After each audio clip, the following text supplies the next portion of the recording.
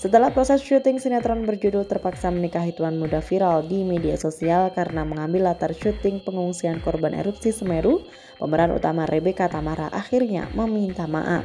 Permintaan maaf Rebecca disampaikan melalui akun Instagram pribadinya. Ia mengaku salah karena telah mengambil proyek sinetron yang mengambil latar syuting di lokasi bencana alam.